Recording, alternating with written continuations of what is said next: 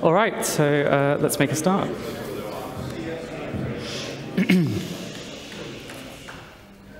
so, hi everyone, thanks for coming. Uh, my name's Alex. I'm an engineer on the GNU toolchain team at ARM, and today I'm going to be talking to you about Morello GCC.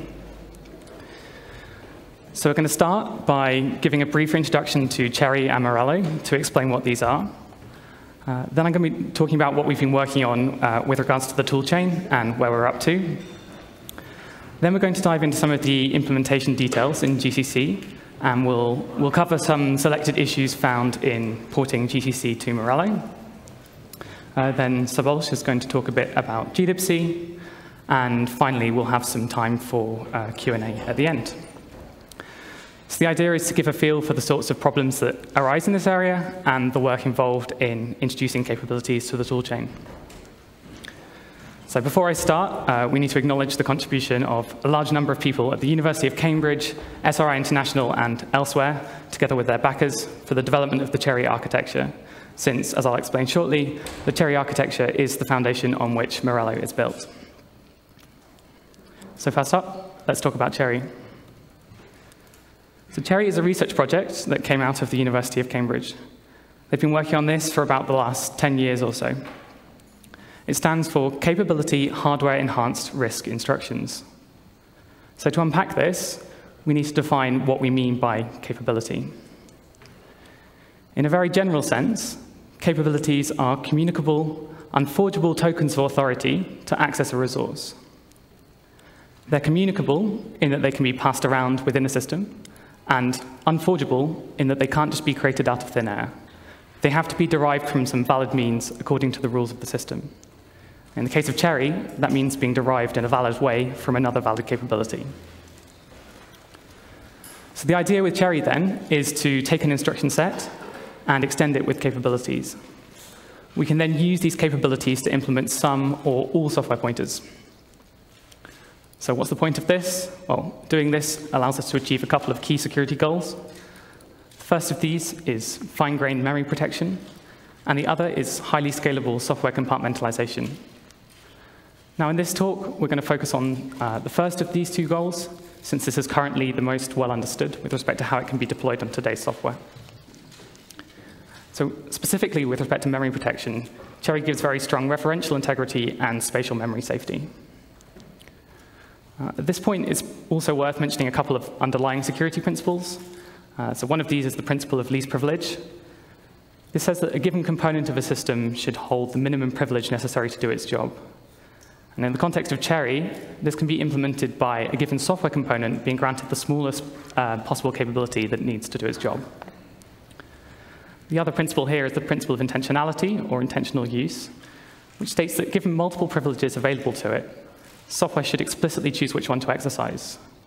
And CHERI forces software to be explicit in this way as to which capability it uses to perform a given operation. Okay, so Morello. Morello is an instantiation of CHERI uh, in an experimental fork of the ARMv8-A architecture.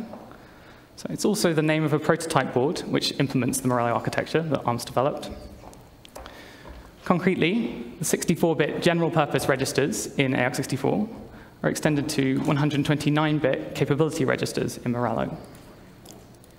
The capability registers hold an address in the low 64 bits and metadata in the upper 64 bits, together with an extra one-bit validity tag. When capabilities are stored in memory, the tag bits are stored on the side. The tag memory itself is not directly addressable. It can only be accessed indirectly through capability loads and stores. And the validity tag is preserved only by valid capability operations. Invalid operations on a capability cause the tag to be cleared. And once the tag is cleared, the capability can no longer be dereferenced. For example, overwriting a capability in memory with a non-capability store, or taking a capability sufficiently far out of bounds would invalidate the capability. That brings us nicely to bounds.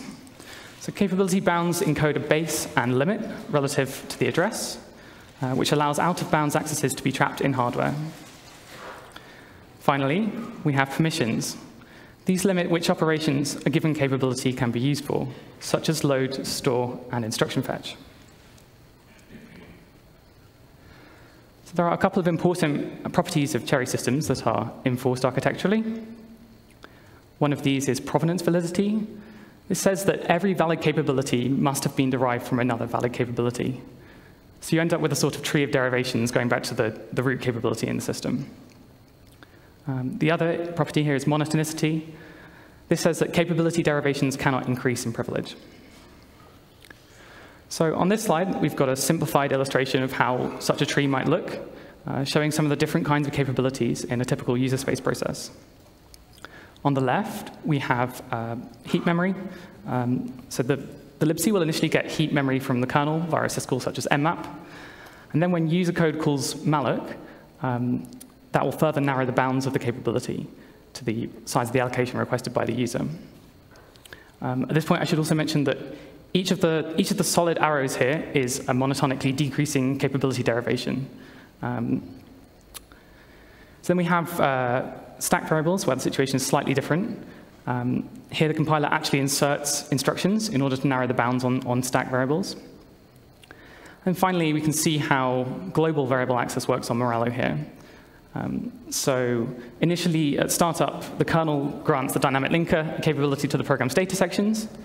Um, each of the capabilities, uh, global variables, sorry, um, then has a, a, capability size slot in the GOT. Um, and the dynamic linker can then populate those GOT slots with an appropriate narrowed capability. The, P the GOT itself can then be accessed with a PCC relative load. Um, so just as a final note here, since the names CSP and PCC might be unfamiliar, these are just the capability versions of the AArch64 stack pointer and program counter registers. Okay, so now that we've introduced CHERI and at lightning speed, we can now talk about how to take advantage of the architecture from C and C++. So to effectively map C and C++ to the architecture, there are some modest language extensions needed. The simplest way to take advantage of the architecture is with what's known as the Pure Capability ABI. This is where all pointers and references are implemented using capabilities. This includes implied pointers, such as the stack pointer, and vtable pointers in C++. Arguably, the biggest change with CHERI C and C++ is around the input t type. Clearly, the type has to be able to carry pointers, and therefore capabilities. However, the type also has to behave like an integer type and permit arbitrary integer arithmetic. To support this, we introduce a new int cap type, which is used to implement intptr_t in the pure capability ABI. So on the bottom of this slide, we have an example that shows some of the features of CHERI C. Line 3 illustrates an important point.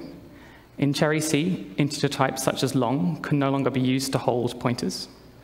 When we cast from an integer type, such as long, to a pointer type, the compiler will warn that the resulting pointer will never be dereferenceable. At runtime, the resulting capability will be null-derived, meaning that the validity tag is cleared, and dereferencing the pointer will trap. Line 4 raises an interesting question. Should pointer comparison compare all 129 capability bits, or should it just compare the lower 64 bits containing the address? Uh, in CHERI C, we just compare the address values. This was found to give the least surprising semantics. Pointers that point to the same location will then always compare equal, regardless of their provenance. Line 5 shows an interesting case that arises with int cap types. Unlike with pointer arithmetic, int cap arithmetic permits binary operations with both sides carrying capabilities. In such a case, it is unclear from which side of the expression the resulting capability should be derived. So the compiler behavior here is to emit a warning, and by default, provenance will be carried from the left-hand side. Uh, yes, there's a question, I think. Yeah. Um,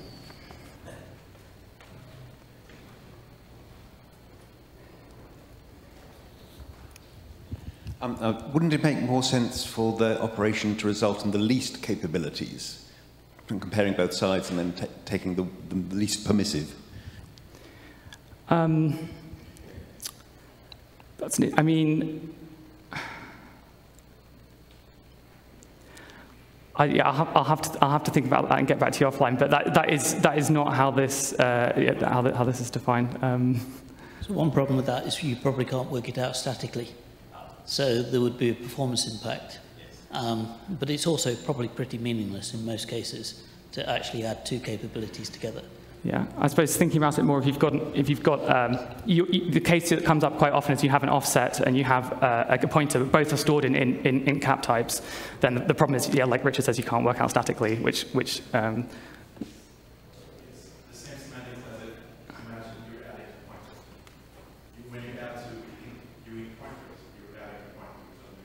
Yeah, exa exactly. So you, you have to choose one of them from. Yeah. Okay. Um, so yeah, so that's the pure capability ABI. Um, I'm going to talk about hybrid now. So yeah, in addition to the pure capability ABI, there's another way to map C to Morello, uh, the so-called hybrid capability mode. So one motivating use case for this is where you have, for example, um, a very large code base, which would be non-trivial to port to the pure capability ABI, but you'd still like to be able to interface with capabilities at some well-defined boundary. An example of this is with the Morello Linux kernel. Hybrid mode permits supporting a pure capability user space API without having to port the entire Linux kernel to PureCap. To make use of capabilities from hybrid C, you then have to explicitly annotate those pointers with underscore underscore capability, as in the example below. Um, and I believe the Linux kernel port actually uses the, uh, the user, underscore underscore user annotation to um, uh, defines that to, to, to this capability um, keyword. Okay, so how easy is it to port code to CHERI? Well, it really depends on what sort of software you're talking about. At one end of the spectrum, you might have some high-level, standards-conforming, well-written user-space software. This kind of software is typically very easy, um, should require minimal porting effort. At the other end of the spectrum, you have low-level software, such as uh, compilers, operating system kernels, um, and language runtimes. These kind of software tend to require more significant porting effort. In general, any code that plays tricks with pointers and makes assumptions about their underlying representation is potentially problematic. Um, so there's an example here um, taken from GCC. So this is a merge sort, part of a merge sort implementation in GCC. Uh, we're doing the merge set of the merge sorts. we have pointers L and R that point to our recursively sorted subarrays. Um, we do a comparison and we form a mask from that comparison. So in the case where, um, in the case where R compares less than L, uh, the mask is all ones. So we compute L's or L's or R. The L's cancel out, and we end up with LR holding a pointer to R. Otherwise, if the comparison falls the other way, uh, the mask is zero, so we compute L's or zero, and we end up with a pointer to L. So ignoring capabilities for a moment, the code works fine, right? But we think about this in terms of capabilities. Uh, one redeeming feature of the code is that it actually uses input a t, so the type can at least carry capabilities. Um, the problem here is that when we compute L's or R, the code is logically trying to create a capability that has the provenance of both pointers combined. Um, but this simply isn't possible with CHERI. Compiler has to choose one of the capabilities from which the result will be derived. In this case, the compiler will warn that the provenance is ambiguous and default to taking the provenance from the left-hand side. In the case where we want to choose L, i.e. when the mask is zero, uh, the code happens to work by accident. So on line three, we compute L's or zero, um, and since the provenance defaults coming from L, uh, we end up with the original capability we had for L. However, in the case where R compares smaller than L, things go wrong. The final LR pointer is derived from L, so although we compute the correct address value, R, the provenance is wrong. Um, the capability bounds uh, permissions and so on are inherited from L. We have a question. Well, of course, in this specific example, the provenances of L and R will be the same because they are pointers into the same array because it's a sorting routine, right? So it always happens to do actually the right thing, even if always taking the provenance from L because it's going to be the same as R. so problem solved here. yeah, I, I mean, I, so couldn't this be um, if you have, uh, do, the, do, do, do, these necessarily have to be um, allocated?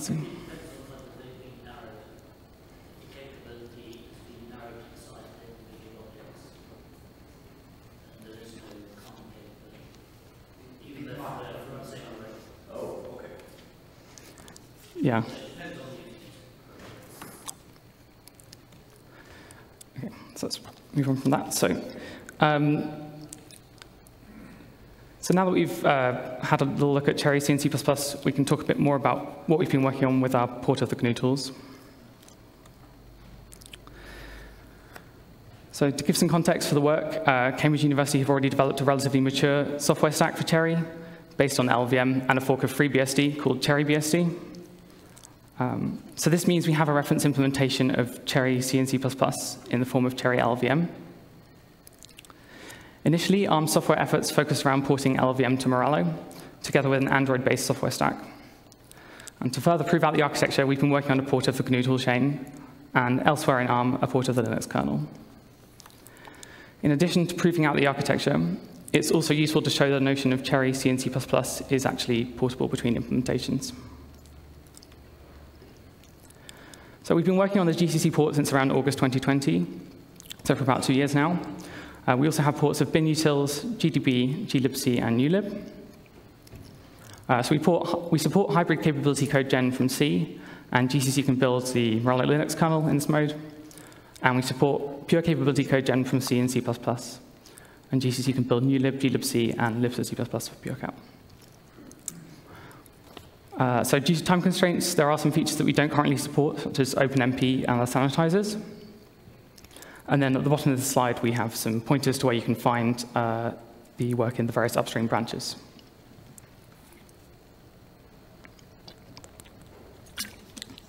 Okay, so I'm going to talk about capabilities in GCC. Um, so at this point, uh, I should note that Richard Sandiford did the design for GCC, um, so we're indebted to him, and I can't take any credit for what follows, except for all of the mistakes, of course.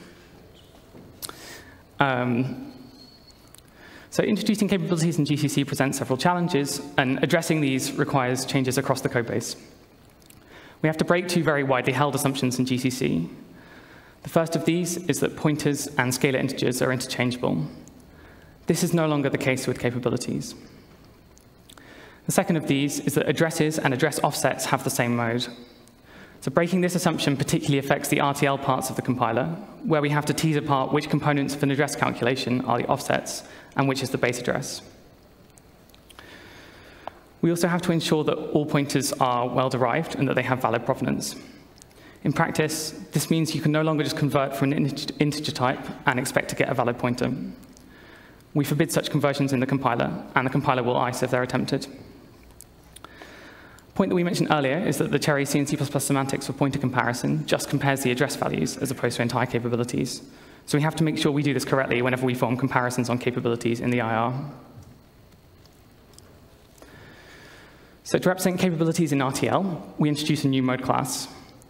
Capability modes are defined by their size in bits and the mode of the address value, also known as the offset mode of the capability. For Morello, we define the cap capability mode, CADI mode, as a 128-bit capability with a DI mode address value. To get the address value of a capability, an offset mode low-part subreg is used. For a pure capability target, we then set p mode to be a capability mode. We also introduce a new macro called PO mode, which is the offset mode of p mode. For non-capability targets, these modes are the same, but the distinction is important for capability targets. Of course, we then have to update the usage of these macros throughout the middle end and the AArch64 backend as part of this work. We also introduce a new mode classification, scalar addr mode, which is the set union of capability modes and scalar integer modes. Finally, we introduce some new RTL codes. const null is used to represent the null capability. So arguably the most important feature of the const null is that it has a mode, so we avoid all the usual pain of GCC modeless constants. Um, pointer plus is introduced to be used for capability pointer arithmetic at uh, the RTL level.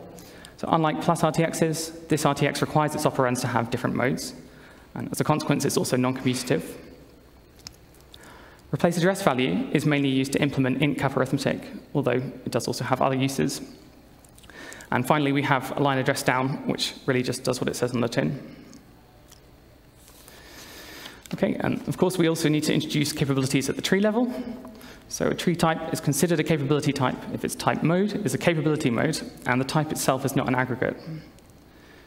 There are two main kinds of capability types, pointer types and int cap types. So we introduce a new tree code to represent the language level CHERI intcap types. The address value of a capability can then be obtained directly by just converting to its non-capability type. However, as I mentioned earlier, conversions in the other direction are forbidden, so attempting to, to directly convert from an integer to a capability will lead to an ICE. So instead, we introduce a new internal function, replace address value. This takes a capability C, from which the result should be derived, and sets its address value to the integer CV. In the case where there is no valid capability from which to derive, for example, if user code converts an integer to a capability, then we derive from the null capability. The result won't be dereferenceable, but it will have the correct address value. At the bottom of the slide, we show some key functions that we introduced in the tree API. Uh, so unsurprisingly, capability type P simply tests if its argument is a capability type. Uh, Non-capability type, when given a capability type, returns the type of its address value. Otherwise, it just returns the argument unmodified. Drop capability uh, forms a conversion to uh, the address value given a capability argument, and otherwise just, again, returns the argument unmodified. And so this drop capability is mainly intended for use in the front ends, and then we also have a folding version of that, which is used uh, mainly in the middle end. Okay. So we have an example here, kind of an end-to-end -end example. Um, with some intcap arithmetic. So you can see the C front end uh, initially builds uh, a replace address value to implement the intcap arithmetic. Um, then we, we have to decide first from which side the provenance comes. So in this case, it's from, from the left-hand side, it's straightforward.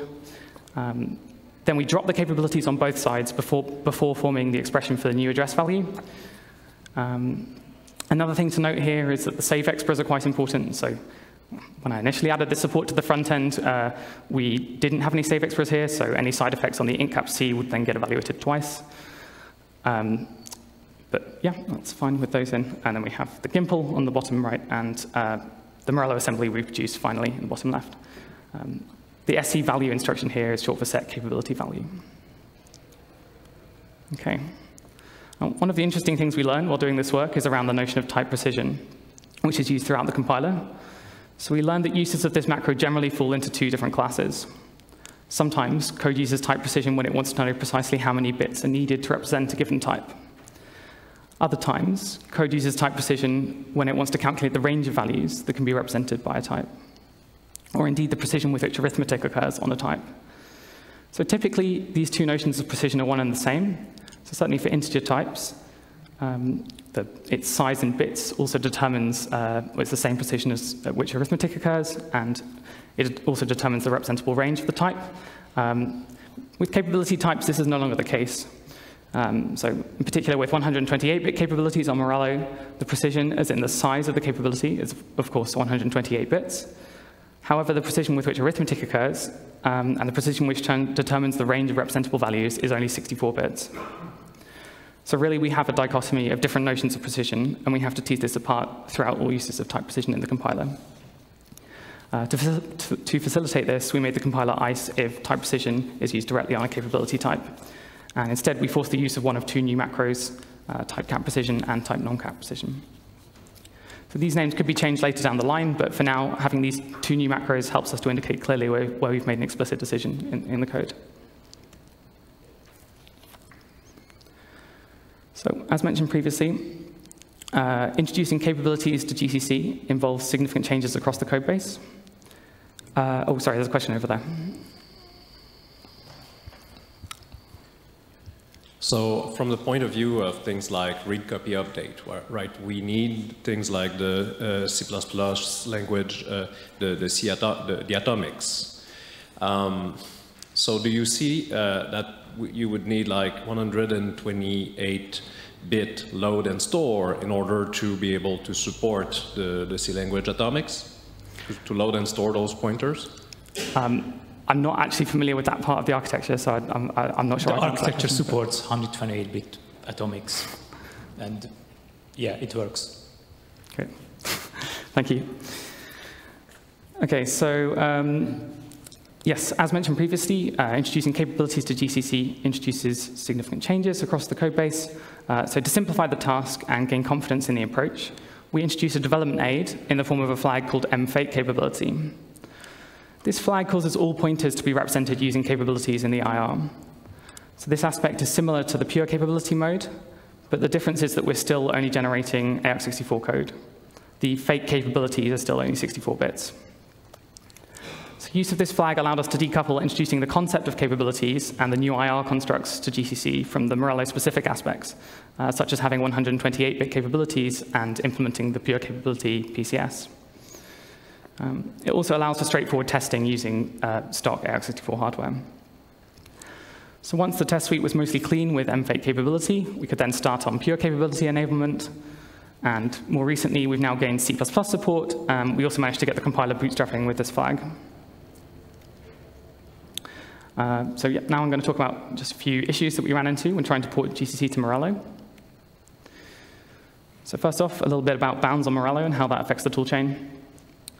Morello encodes capability bounds using a floating point style compression format such that the capability can fit into 128 bits.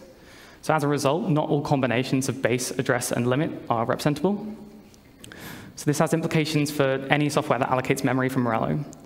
In order to ensure we get tight bounds on capabilities, software has to insert padding and or increase alignment uh, such that the overall allocation size is exactly representable. This has implications for many toolchain components, including GCC, when it allocates memory uh, for both stack and global variables, as well as the static linker, which has to ensure that the span of the PCC within the DSO um, is precisely representable. It also affects glibc malloc and the various allocators in libc++. So here's an example of a transformation that GCC does, which is valid for integer pointers, uh, but it's wrong for capabilities. So this occurs due to an optimization in the AArch64 backend called AArch64 anchor offset, uh, which tries to create anchor points for address cal calculations that are out of immediate range uh, in the hope that the same anchor point can then be reused for other loads or stores. The problem is that, as I mentioned earlier, CHERI capabilities can only be taken so far out of bounds uh, before they lose the validity tag. On Morello, capabilities can only be taken 12.5% of the allocation size below the base uh, without getting invalidated. So in the example here, we would likely end up dereferencing an invalid capability and trapping. So to fix this, we currently disable the optimization um, for capabilities given a negative offset, and we adjust it for positive offsets to avoid using anchor points that would take the capability out of range. Um, so it would be possible to use a sort of round towards zero behavior here for negative offsets, but we, we don't do that currently, just to try and keep things simple.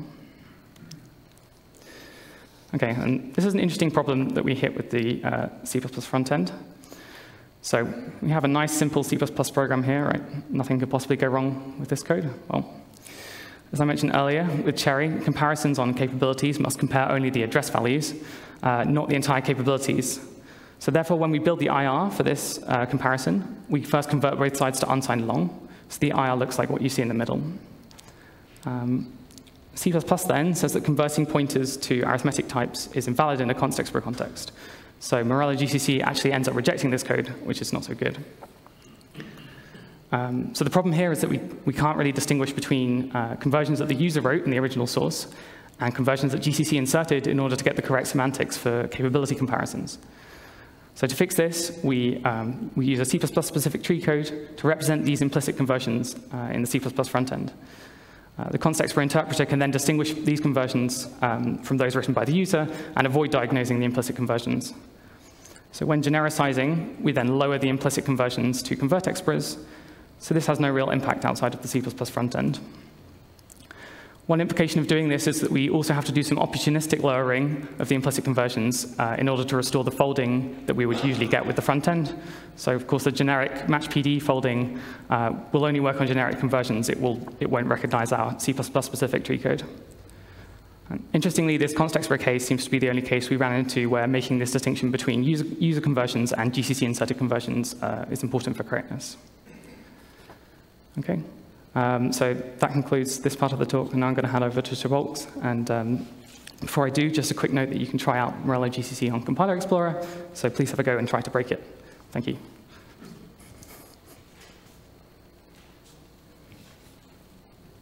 All right. Um,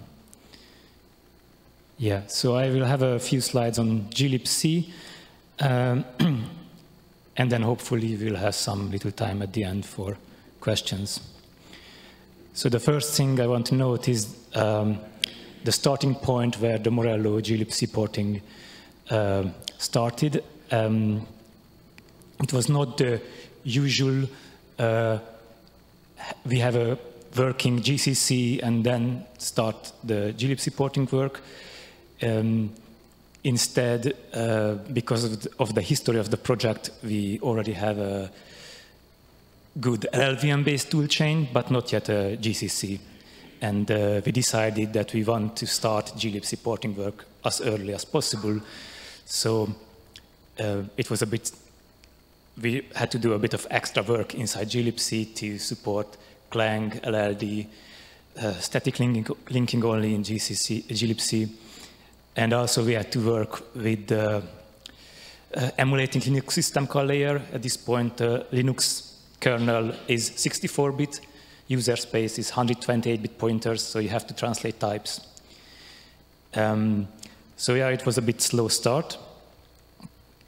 Um, um, the port, um, well, two important, one important thing about the port is that we keep it in a separate branch, so we're not intending to upstream it, which means in principle we could do all sorts of nasty hacks because upstream reviewers uh, don't have a say. But um, we try to make the patch set very clean because it makes it easier for us. Uh, only a few places where we cut corners. The other thing I want to mention is that in a norm that um, we essentially reuse a lot of code from AArch64 because Morello is pretty much and like AArch64 just with capabilities. Um, so some of the normal porting work we didn't have to do much work because it was uh, it was uh, already there, just little changes. Um, however, we still had a lot of work to do, but not the usual uh, kind of backend uh, porting work. Uh, we had to change the generic C code um, quite a bit, but these, um, so some of the changes are very small changes, but at many different places, and mainly because the CHERI C language is a different language from standard C. Um, as Alex mentioned, the, um, there are problems with integer types that represent capabilities. Um, somebody said it never makes sense to add two pointers well, sometimes it makes sense to add the pointer plus offset, and sometimes the offset is stored in the uint_ptr for whatever reason, and then you have uint_ptr plus uint_ptr.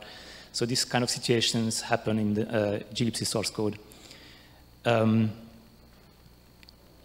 we also have issues because 128-bit uh, pointers uh, size, uh, glibc is not always prepared for that and you have to change the atomics, as was mentioned. Um, yeah, so there were some small changes. Oh, and yeah, glibc ha GCC has warnings about some of the issues. I decided to not try to make glibc clean of uh, the CHERI-specific warnings because there were lots of false positives and it required me to change the code in unnatural ways to silence all the warnings. And uh, yeah, so the warnings at this point is, was not super helpful. Um, now, another class of problems that you might be wondering that the previous set of things were glibc internal little changes just to make capabilities work. But sometimes we have to make changes that uh, the public interfaces are affected, and that's uh, more can be more interesting because that affects uh, uh, user code and the portability of user code. We only had to introduce one new interface, get uh, essentially getauxval. We want getauxval to be able to return a pointer, and we introduce an interface for that. And we did some minor change in printf to be able to print uh, uh, capabilities in a pretty format. Uh, okay. Um, just curious, uh, does the implementation of the loads and store of this 128-bit uh, pointer use the equivalent of link load store conditional, or does it use the atomics of the, the architecture?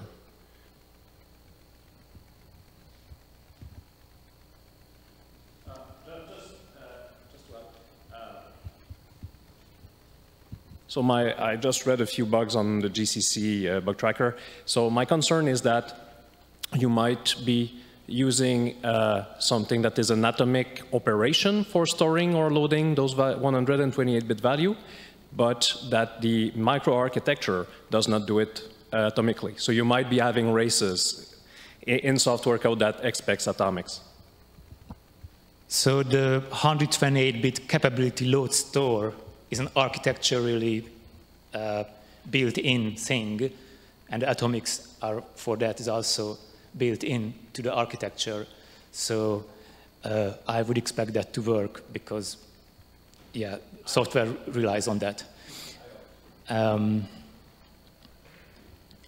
anyway, we have a lot of problems before getting to such details. So, um, yeah, so we only need we only need a little bit of changes, a new interface type of change.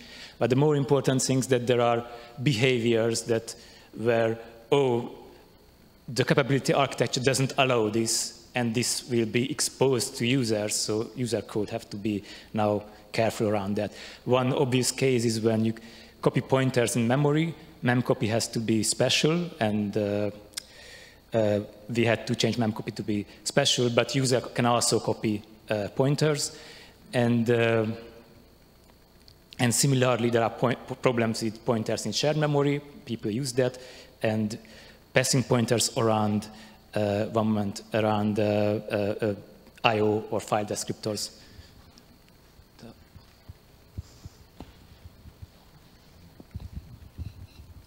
So I'm, I'm probably not, not really sure. Is the, the when, when I I have a structure in, G, in, in, in C, and there's a pointer in it, will that be 128-bit? So is the capability stored in my user memory? Because at the very beginning, I thought the capabilities were only accessible via some special...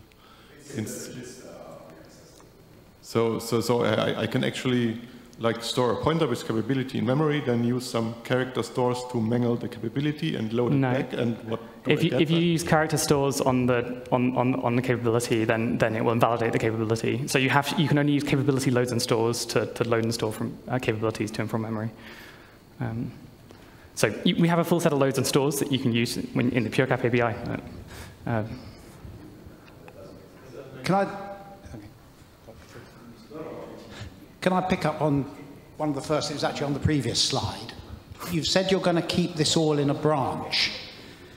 Um, I always worry about things that live in a branch and never see, you know, become part of mainstream. I think you're doing three things. You're providing generic support for CHERI capabilities.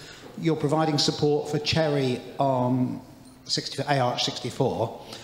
And you're providing support for the Morello board that supports Arch. So you've got a board, you've got an architecture, you've got a general yeah. functionality. Now, I understand, and for those who don't know, the, the British government's put about 170 million, I think, into this project. It is a big national strategic investment. The Morello board's only going to last for five years because it's a research project. But the idea is that CHERI, CHERI, I mean, capabilities have been around for 30 or 40 years already. Yeah. Um, it seems strange to not at least get the, the core CHERI stuff upstream, uh, fully into right, the main so, branch. Yeah, okay. So, um, the, so all of the stuff we've done in, in GCC is, de, is uh, designed to be uh, target independent. So we've, and we've written the code in such a way that we hope it's of the kind of quality that could be upstreamed. Um, but the reason we're not upstreaming it right now is because, um, well, Morello is a fork of the architecture. It's not, it's not the mainstream ARM, ARM v8 architecture. So it's, that's, that's why we've kept it in a branch for now. Um, but yeah, I hope that answers the question. Do you have QEMU and Valgrind support um, so there's, uh, yeah, this ARM has fast models for um, emulating, but there's also, um, I believe Cambridge University have a, a port of QEMU to uh, Morello and other CHERI targets. So.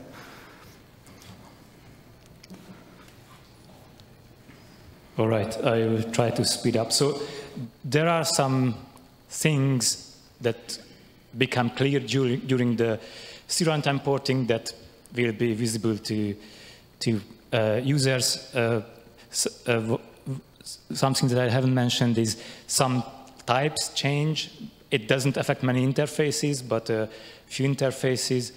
Uh, of course, if the interface has different type, uh, as the documented type uh, for current targets, uh, then portable code might be affected by that.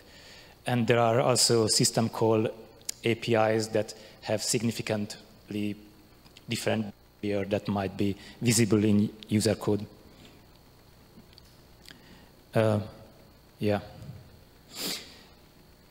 All right, so so far I mostly talked about like little uh, localized issues inside uh, uh, glibc, but there were a few uh, bigger changes where we had to do some design work or uh, um, uh, yeah, do some uh, bigger changes.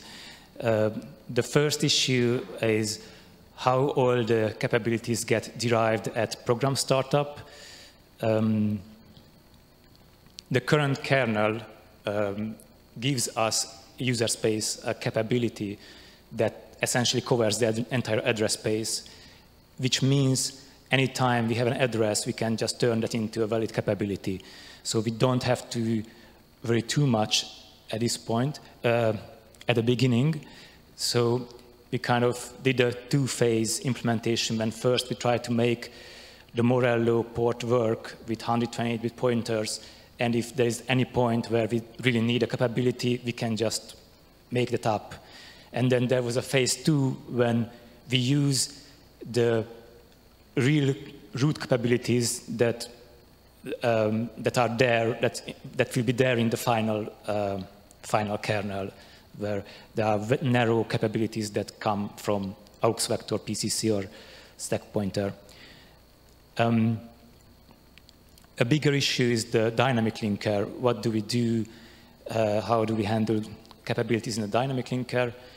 Um, one problem there is the dynamic linker works a lot with addresses and assumes that 64-bit addresses on a 64-bit ELF platform can be just cast to a pointer and it will work. And of course, we want capability. Um, and most of the time, these when in an ELF module we want a pointer somewhere inside the ELF module, the computation that uh, the dynamic linker is doing is have a base address plus some offset. So the natural thing to change was to make the base address a capability, and then base address plus offset immediately gives you uh, a capability that kind of works. Um, so that, that, was the phase one uh, dynamic linker work. We just changed a few types from 64-bit address into UNT-PTR, essentially. And then phase two is when, um, in the final um, design, we wanted two separate capabilities uh, for covering um, the, the load segment uh, of an ELF executable, but only with read execute per permission. And and another capability with read-write permission that only covers the, the writable segments. And uh, then we had to make a bit more changes to ensure that the, all the pointers are derived from the right capability within an ELF module. Um, another big area uh, where there, there are more changes needed is, is the malloc design because you would expect malloc to give you uh, give you user a pointer that is only able to access the the, the allocated area. Um, in the first phase, when we uh, worked on malloc, we just wanted to make it work because there are internal integer casts inside malloc which are not perfect. Just clean that up, make malloc work, and no bounds narrowing. Then the second step was, okay, implement the bounds narrowing, where we had the problem of representation not all sizes can be represented, so sometimes the malloc size have to be increased a bit, so it's representable. So now there is the security property that the user gets the pointer with the right bound, but we have a problem at free, because in free you get a user pointer and you want to access the malloc metadata, and the pointer do doesn't have access to that metadata.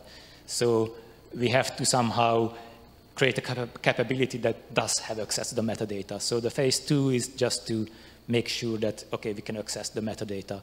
And there is a phase three when, when actually we change the free that we don't rely on a, a, a magic global capability that has access to everything.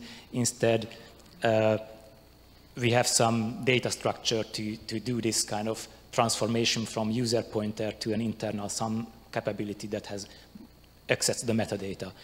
Ideally, you would design malloc very differently for Morello, but we wanted to kind of do this the minimal design, and we are currently working on phase three. So at, from this slide, um, everything phase two is already implemented. Uh, it's not yet all in the branch, but yeah.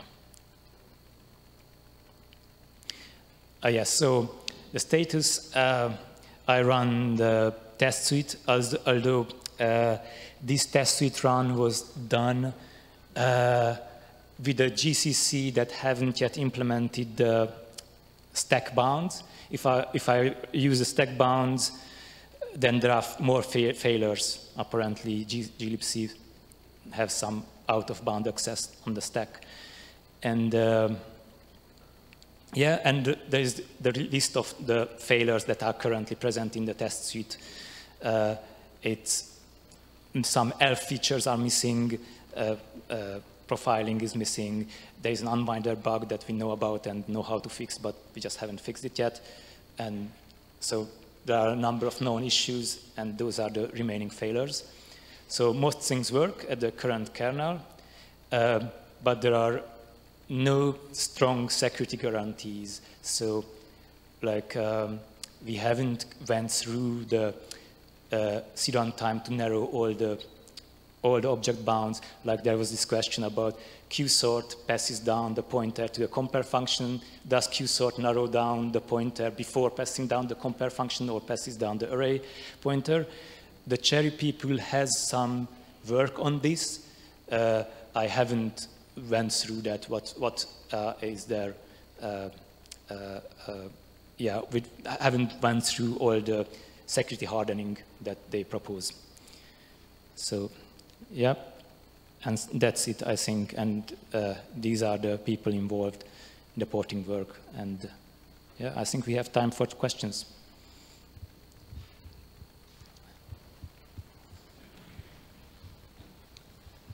Um, I remember you mentioning about the capability that it has 128 bits and one tag bit that is not accessible. Uh, when debugging using GDB, would we be able to see that tag bit? So the way GDB works is you can print out capabilities in a pretty format, and it prints out the capability, the bounds information. Capabilities also have permission information, read, write, execute, and a bit more, because whatever reason. And, uh, and it also prints out if the capability is valid. So it's just, you can print out if a capability is valid or not, and GDB knows how to query that bit from the operating system.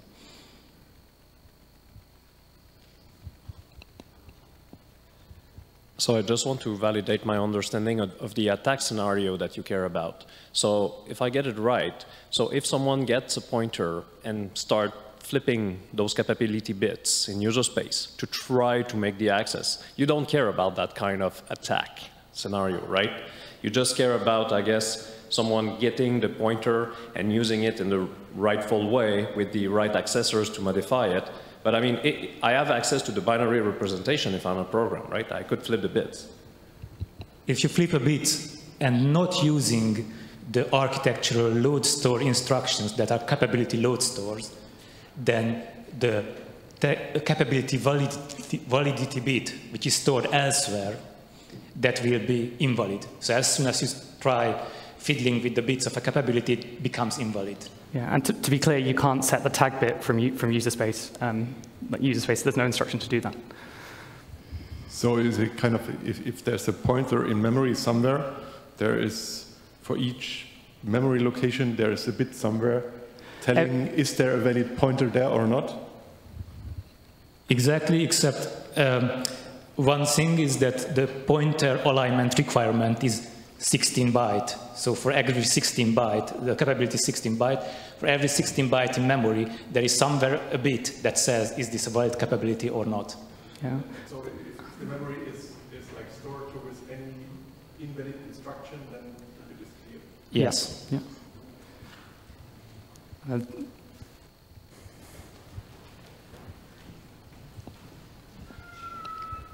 So I, I was curious on earlier points of one of them was the mem copy has to be special case. What does that exactly mean? Like, do you look through the types and what exactly do you do?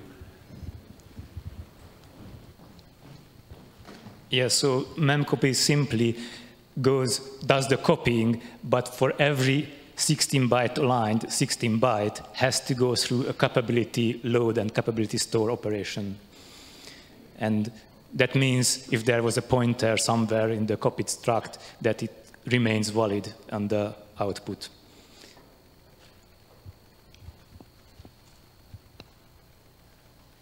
And you somehow force the library memcopy implementation for all the internal copying by GCC, because GCC has many ways how to expand a copy Yeah, of so something, either piecewise or Yeah, we, we had to fix the inline memcopy expansion as well to preserve capabilities. So it, yeah, it, it, either approach should work.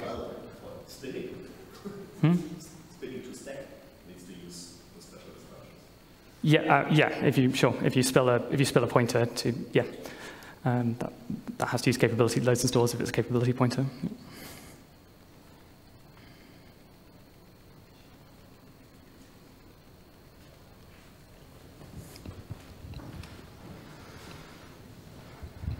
Can GDB forge capabilities? Can you give it the address of the bounds or whatever you want so that it forges a capability through ptrace or something like that? I think the Cambridge people, uh, university people really don't like that idea, but uh, there is a setting in uh, like a proc file system or pro- sys, sysfs, some setting on Linux that allows you to forge capabilities in a ptrace thing setup, and uh, you can turn it off or on. Um, I think that's the situation. Yeah.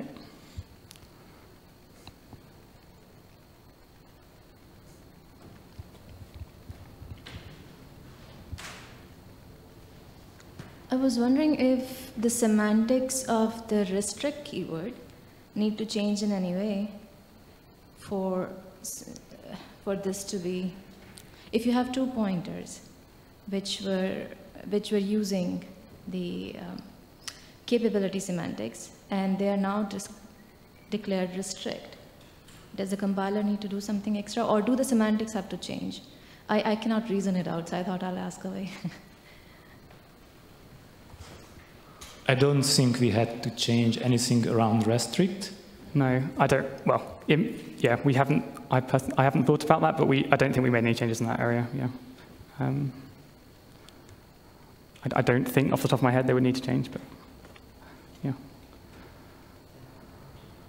Yeah, I, I don't know if you need to. That's what I was thinking. I'm not sure. I guess if you rephrase that, like, pointers have the same value, but different capabilities. Who, who they allies? Um, So the we can't. We, we can't assume that they're. Sorry. Do you, do you want to go, Shamil? If you have some, go ahead. Um, Maybe repeat the question for the okay. audience. Okay, so the question is uh, pointer alias or not alias. What what does that happen? What what happens then with capabilities? How does capabilities change those situations? So, And uh, I think capabilities just ensure that each pointer can only access its own within own own bounds, and uh, if there's some aliasing issue that's separate, like aliasing issue uh, that happens without capabilities and uh, with capabilities, that capabilities doesn't don't change that. Uh, Yeah. It just prevents you to do out of bound access. Yeah, I think if you've got two pointers that could uh, point to the same place but have different provenance, then we have to assume in the compiler that they, that they do alias. Um, it doesn't change that, um, so even if they have different provenance. So. So maybe a related question, the, the bounds, are they so that two capabilities are either completely distinct or can they overlap partially or can they only be contained or inside each other? So are they really random ranges or are they in, in some way form a hierarchy or so? Yeah, each pointer can have its own bounds, and as, as long as it's representable, that pointer can have whatever bounds. Um, and yeah, that can be two different pointers that have overlapping bounds and things like that. However, if you have two pointers that have overlapping bounds, you cannot turn them into a super pointer that has all the bounds of them. Even though in principle you have capability to access the entire range, you can create a single pointer for that. And obviously, a, a well-behaved allocator should make sure that they're destroying the capabilities that it allocates. So you shouldn't have overlapping. So, is it possible to like use a fat use capability pointer to iterate backwards through a buffer somehow? Because the pointer has the address and the range like next to it, so intuitively it shouldn't be possible to iterate like down. Is it right? Yes, so the capability has essentially, in principle, three pointers. The actual value of capability, the begin and the end. It's just compressed representation, so not every combination of three 64-bit pointer is representable. Uh, so it's perfectly possible that uh, have a capability that has a value that points to the end of the range of the accessible. Uh, yeah. Sure. Uh, yeah, so just last question, I guess, is from Sadesh online in Zoom. Can some of the pointer arithmetic cleanups in malloc be upstreamed?